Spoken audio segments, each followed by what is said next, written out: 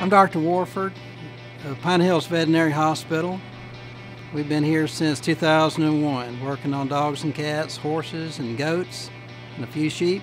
When I was a kid, my dad had a horse farm, and we had several thoroughbreds and quarter horses, and I really enjoyed working with them, uh, especially with the foals. It's just a passion of mine, but uh, I also like working on dogs and cats too. That's been that's been really good for us. One of the things I found out in our business is that uh, it's just not working with animals, it's working with the clientele.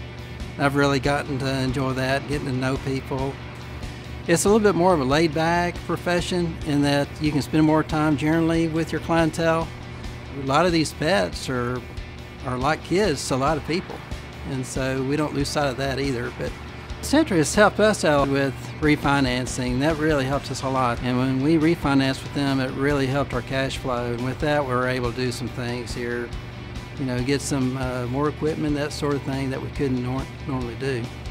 The process was a lot friendlier, uh, it was a lot easier, and the rates were lower uh, than some of the other banks I was looking at at the time.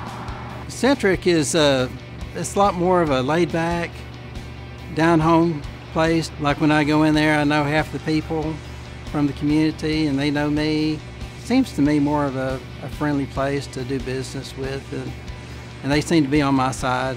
They seem to be more interested in about, about me as a person.